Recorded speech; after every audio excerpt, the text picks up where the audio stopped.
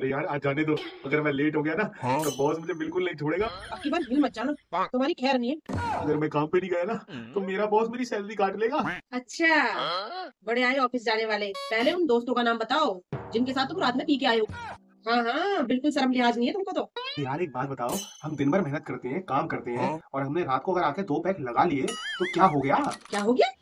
वैसे तो तुम पूरे दिन भर बिल्ली बिल्ली बने फिरते हो। और पीने के बाद तुम्हारे अंदर शेर जाग जाता है। अरे यार ये दारू नहीं दवाई है।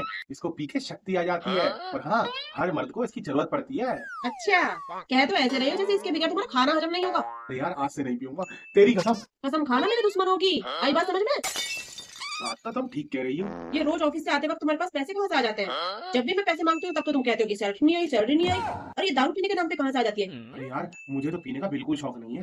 वो तो मेरे दोस्त मुझे रोक लेते हैं कि भाई घर जाने से पहले दो लवली पैक लगा के जाने पड़ेंगे भाइयों के साथ। अच्छा उसने तुमसे दो पैक के लिए कहा? और तुम मान गए।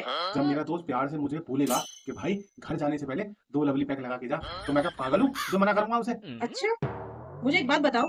तुम तो कह रहे थे कि मैं कल से नहीं पीऊँगा हाँ? फिर क्यों पी गए अरे अब मैं क्या बताऊँ यार मेरे दोस्त टीटू के लड़के का जन्मदिन था।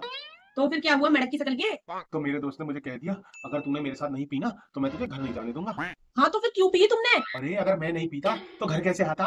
अरे तुम अपने दोस्त से कुछ भी कह सकते थे। कह सकते थे कि मैंने दारू पीनी छोड़ दी है मुझे हैंगओवर हो जाता है। पर मुझे तो मज़ा आता है ना। तुम्हारे मज़े के चक्कर में पूरी रात नहीं सो पाई हूँ मैं। सर में दर्द हो रहा है मेरे। ऐसा क्या कर दिया मैंने?